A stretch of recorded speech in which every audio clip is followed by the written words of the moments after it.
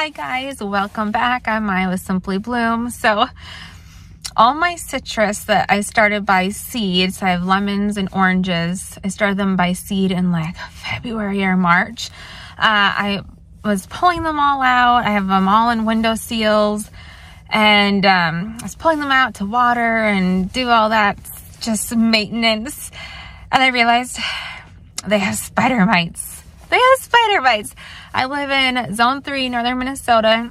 When I lived in Montana for five years, I really didn't do much of gardening, but I, I saw spider mites. Like, you know, they were there. For some reason in my brain, call me naive, I did not think we had spider mites in Minnesota. Like I thought it was just too cold. I've never seen them before. And um, my husband, we, we all got sick over Christmas. He was actually napping and still recovering. And felt kind of bad. I ran and woke him up from his sleep and I'm like, are these spider mites? I didn't think we had spider mites. And he looks at me and he's like, yes, we have spider mites in Minnesota. And uh, for those of you who don't know, he used to own a garden center, greenhouse, and then we sold it when we moved to Montana to be closer with some other family on his side. And he said out of thrips and aphids, and spider mites if he had to choose one to deal with at the greenhouse when he owned it.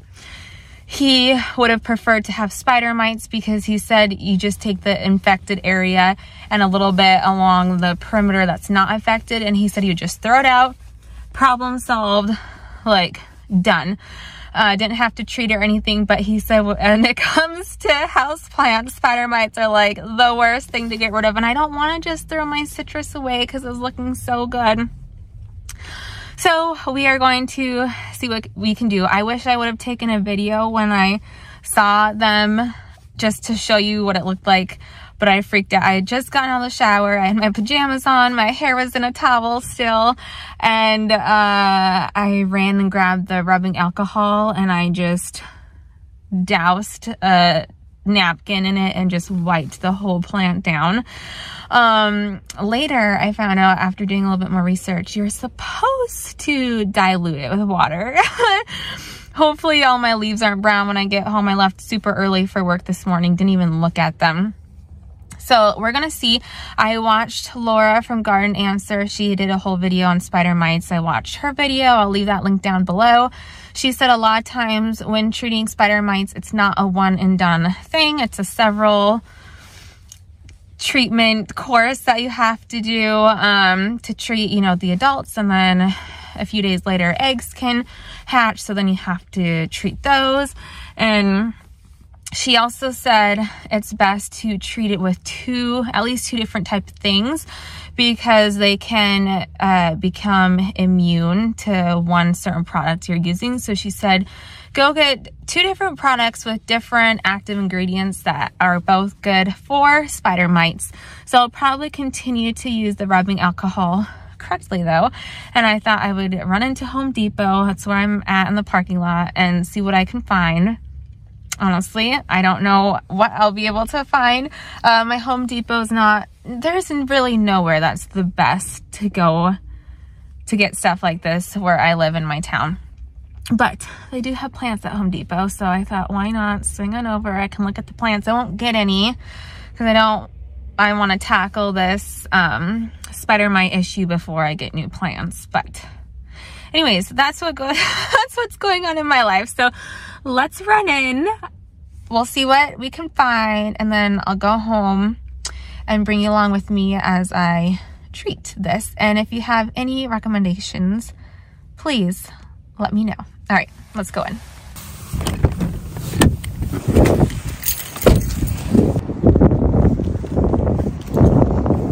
Okay, upon entering Home Depot, I just had to swing through the plant section. There were a lot of plants, but a lot that didn't really catch my eye. But these cute little things, peperomias from Proven Winners Houseplant Collection, I thought these were really cute, which surprised me because normally I'm not a huge fan of peperomias, but these were cute, the variegated and then just the solid green ones. They remind me of jade plants, which I really, really like. And then I stumbled across these. I need, I don't need, I want one of these so bad. I've always had my eye on these for like the past year. I just haven't got one yet. So hopefully once this issue, bug issue is under control, I can go get one. So then I just stumbled and found the insecticide section, I guess you could say. And there were a few, I was kind of deciding between a few of them, but then I reached and decided on the insecticidal super soap, which Laura talked about in her video. Okay, you guys, I ended up getting insecticidal soap, which is like the first thing that Laura recommended in her video. She also said it's like the least harshest. and uh, since I'm using this indoors and I have kids and pets as well as like myself inside, I didn't want to go with something super duper harsh. And she said that for indoor purposes, this is a very good uh, option for houseplants and stuff, just being that it's indoors. I'm gonna try this and I'll probably apply this today.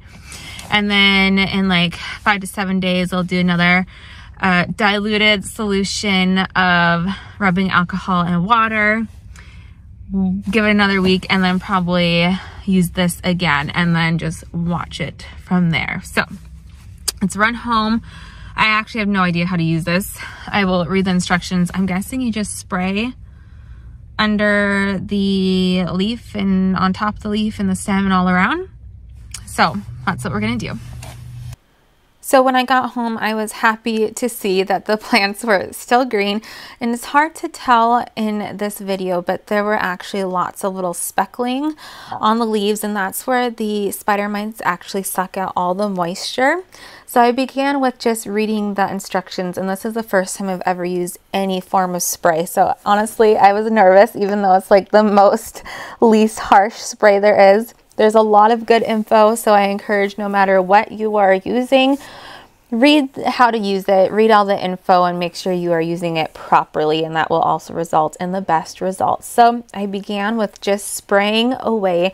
I was trying hard to keep it all in the tidy tray and to spray the tops and the bottoms of the leaves. Really trying to focus on the bottoms, but it was hard. Being that it was in my kitchen, I didn't want to spray down my whole entire kitchen. Looking back, if I had to do this again, I would probably do it in my bathtub, but for, for this moment, I thought the kitchen would be the easiest spot to do it.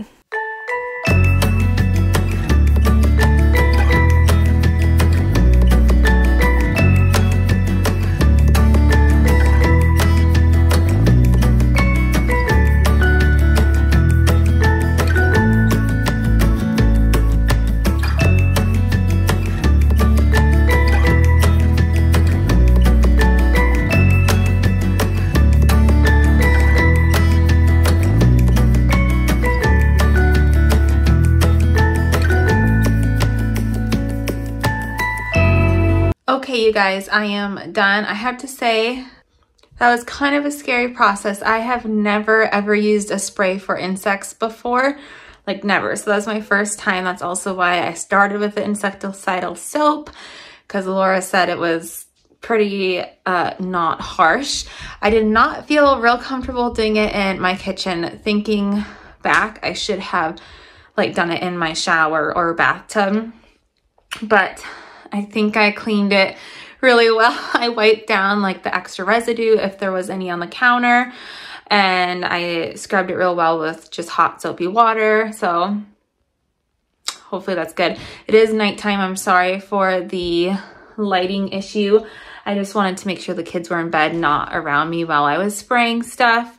If it was summertime, I would do it outside, but it is wintertime and it's too cold to do it outside. I read the instructions really well. I liked that it you could look at what crop you were spraying and then it said how long you need to wait between treatments and um, like how many times per year you should do it if you have issues. But I'm trying this. We'll see how it goes. we will see if anyone else has advice. Please let me know. But that is it for this video. Hopefully this works. Hopefully. Uh, I hope you all have a great day and I will see you next time. Bye.